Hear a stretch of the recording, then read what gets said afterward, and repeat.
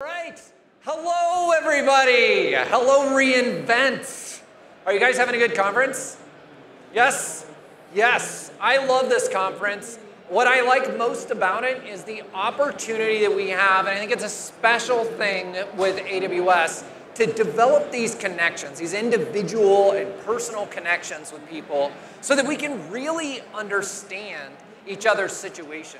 And I think this is the magic that helps us to build better products in the future. Many of us here are, are building today. So I'm Zach. I lead product for AI and ML at uh, QuickSight.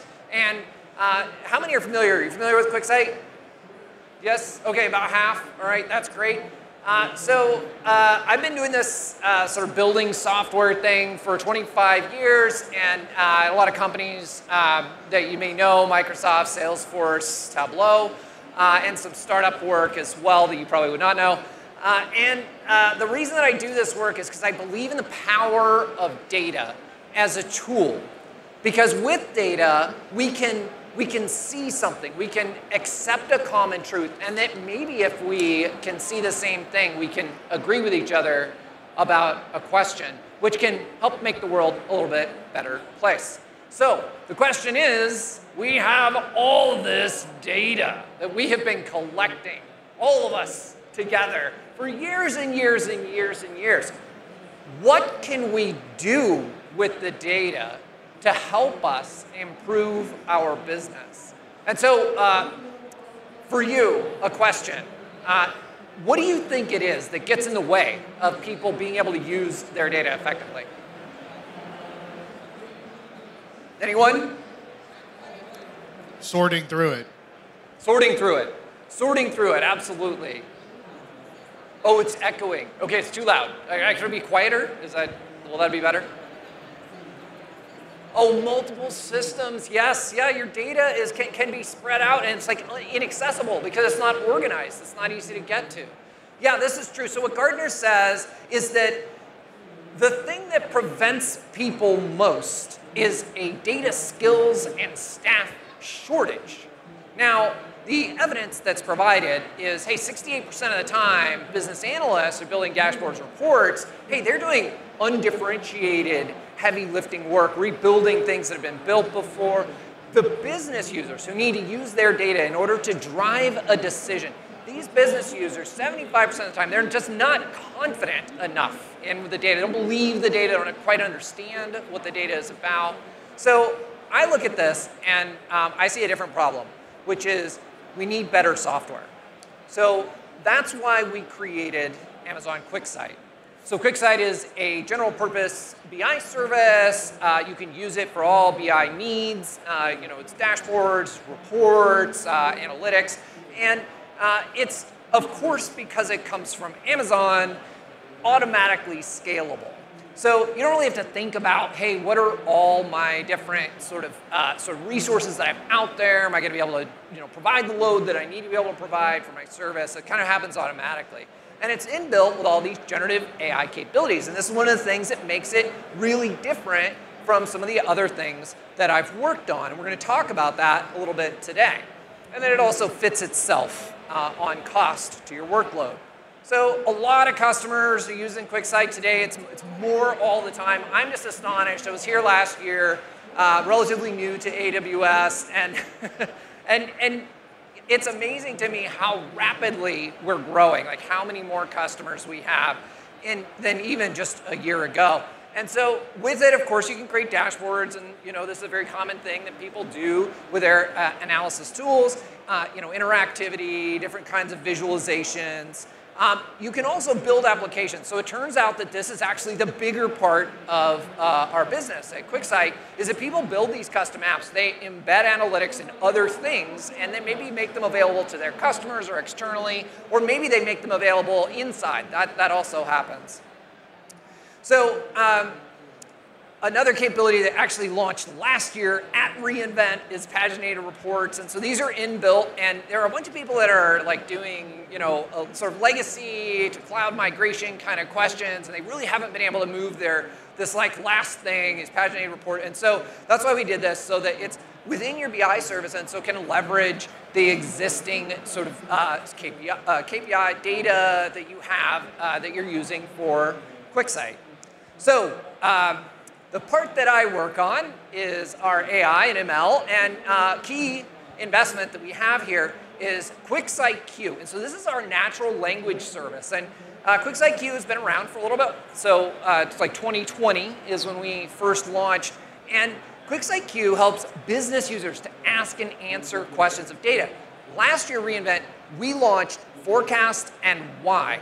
Those are capabilities that are a little bit more advanced than you might expect, but they're specifically targeted to help these business users answer questions easily that are kind of common needs. So, we've been building QuickSight Q. We've got all of this additional capability and modeling that we've been doing around, hey, can you detect outliers? You know, can you can you figure out tops and bottoms, like additional kind of uh, ML that we've built over the years. And at the same time, there's this AI revolution. You know, there's all of this new capability that the, fun, the foundational models, the large language models bring. And so the question is, how can we combine these things together in order to do more for people to help them with their data? So these guys, uh, the helpful little AI robot guys, uh, what can they do? Like, what are they good at? So it turns out, I've been looking into this, I've been thinking about it a lot. Uh, there are certain things that they are very good at and they're best for. So for example, they can assist us in our work by providing additional information, by, by doing work to summarize and just help us interpret and understand information.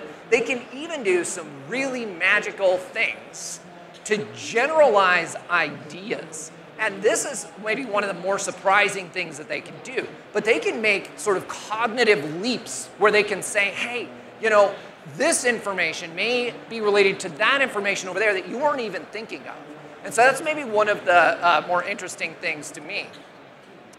They are not the perfect solution for precise knowledge in many cases. And so what I mean by that is, for example, today we don't really ask these large language models to do math because we know that they're not very good at it. So we look at other solutions like generating SQL or generating code or you know other things outside. And this is an evolving space, and so hopefully they will, they will get better at it. But today we don't do that. And in data, math is very important. Uh, we also don't really use them for well-defined tasks. So if you have a model that you have been building and you know it does forecasts and it knows your data and you trained it to do a specific thing in a specific place, it's probably going to be better than asking the large language model to do a forecast. Uh, and then finally, we need to keep the human in the loop. So this idea of verifiable truth in the end, we don't want the AI just making all the decisions. Like we want this to, the element of human judgment, which is very important to remain. Okay, so with that, we are announcing, uh, announced actually yesterday by Adam, that we're bringing generative BI capabilities with Amazon Q in QuickSight. Uh, there are three sets of experiences that go with this. So we have uh, AI accelerated dashboard authoring that helps business analysts quickly build dashboards. We have AI answers to questions of data. And this is for business users who need to inform a decision. And then we also have this uh, AI assisted data storytelling, which is a, a new kind of thing that helps business users to examine their data and then share it with other people in order to drive decisions as a team. So, the dashboard authoring experience includes three capabilities. You can build visuals, you can build calculations, and then you can refine those visuals to get a precise experience. The AI answers to, to, questions of data. So there are two parts to it. There's an executive summary capability. So Q can summarize key insights out of dashboards, can do that kind of automatically. Um, and then we have an enhanced Q&A experience. And so uh, we've learned through watching customers try to use this experience, business users kind of outside uh, the context of the, the BI team, we've learned that it's sometimes hard for them to know even what questions they can ask. And so we're doing some things. We suggest questions they can ask. We show them the scope of data in a very simple format so that they can take a look and understand what's in there. And then when they answer a question, they're sometimes confused about like what this answer means. So we're presenting a more complete contextual answer that's visual in multiple parts, explaining the data. And we even describe it in, uh, in narrative so that they can see key insights. And then finally, we have support for vague questions. And these, it, it turns out, are the kinds of questions that business users typically ask. Like, how can I make this better? Or how much does that cost? Or things that are kind of open-ended or, or sort of difficult to match to specific fields in a database. Okay, so the last part is our AI-assisted storytelling. So this, the first part of this is uh, being able to actually create a story. So a story is a new kind of thing. It's not a dashboard. It's not a report. It's uh, more like a document or slides. And so then we can actually generate these things directly from your data and we can make them available to people uh, automatically. We can also then kind of refine that content and improve it using the AIs. And then uh, we, because we're like within the BI service, we get to participate in the existing governance model. And so that way the data isn't sort of leaving to go to some external document store. All right, let's take a look at what this is switch over to my demo here.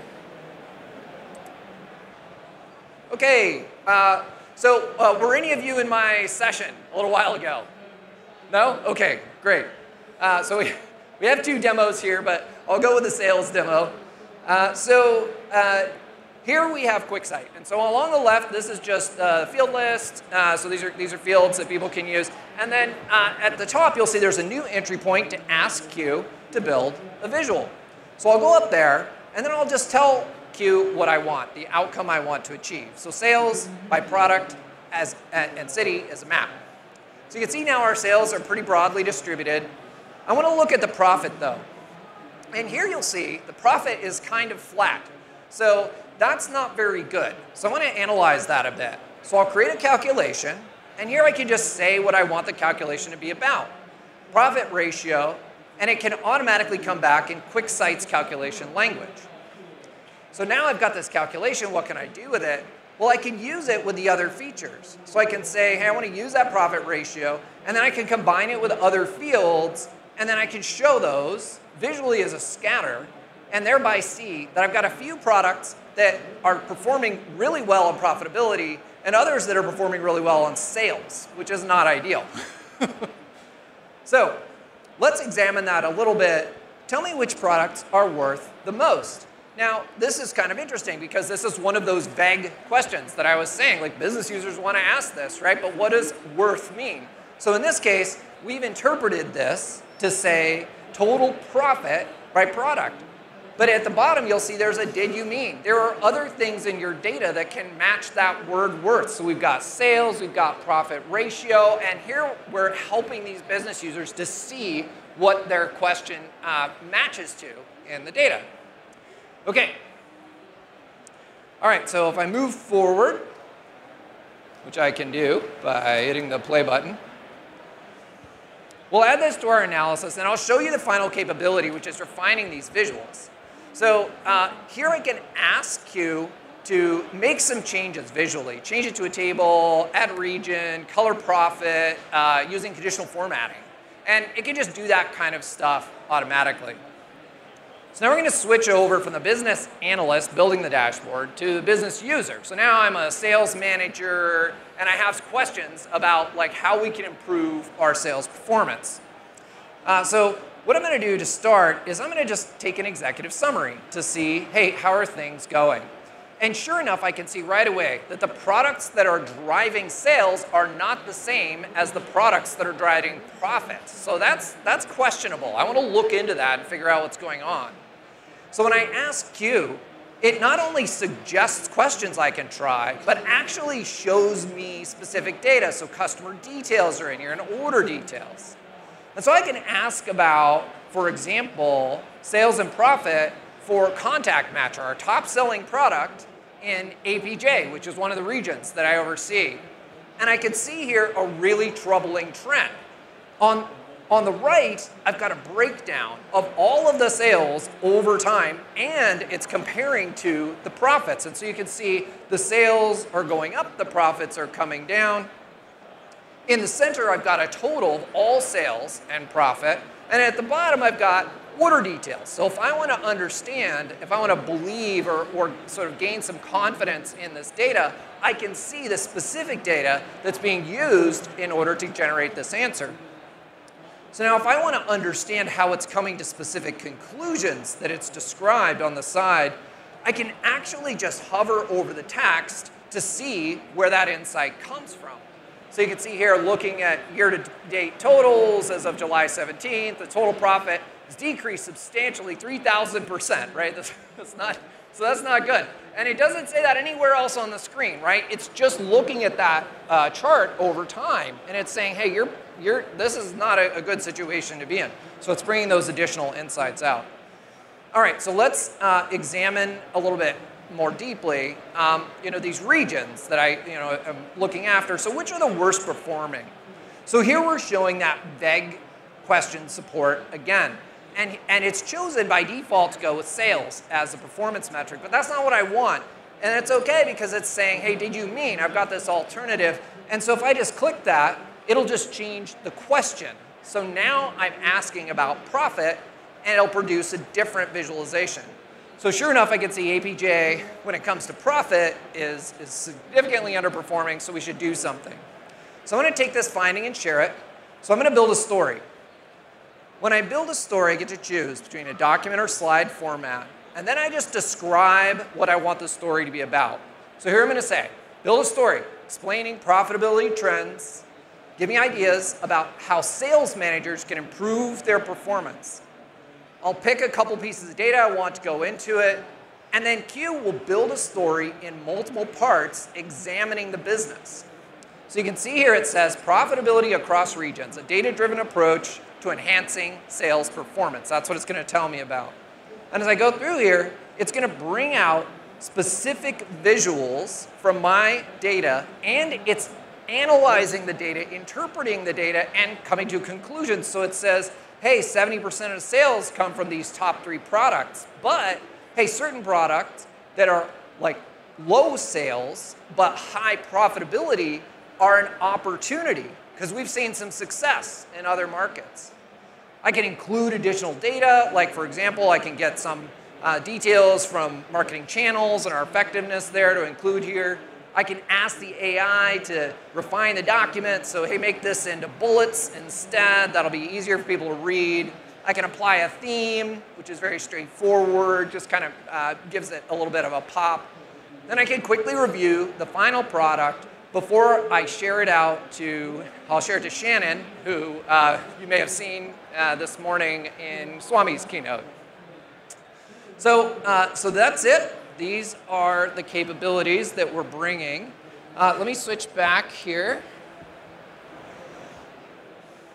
So, uh, so just to recap these three things. So there's the AI-powered dashboard authoring experience, and this is for uh, the business analyst to more quickly create dashboards. There are the AI answers to questions of data. And this is for business analysts to, uh, for business users, I'm sorry, to quickly uh, answer questions of data in order to inform decisions. And then there's the AI-assisted data storytelling, which helps people to examine this data and then share with a team in order to bring people to a shared decision. Uh, so you can learn more about this at generativebi.com. I'll give you a minute to take a little photo.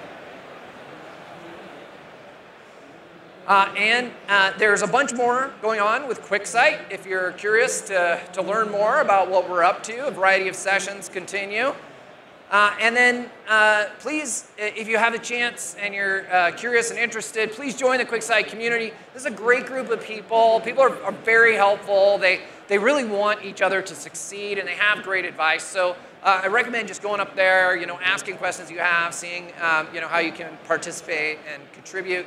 Uh, and, and thank you uh, for coming. Please connect to me on LinkedIn if you'd like.